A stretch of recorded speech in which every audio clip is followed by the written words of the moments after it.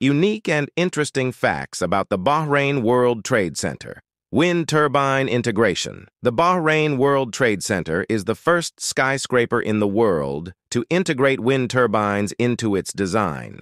Three large wind turbines, each 29 meters in diameter, are suspended between its two towers.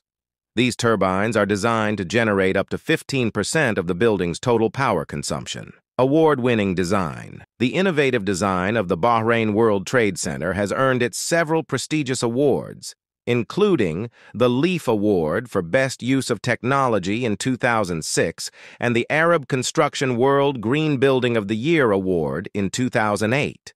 The Bahrain World Trade Center consists of two 50-story towers that rise to a height of 240 meters, 787 feet. The towers are connected by three sky bridges, which also support the wind turbines.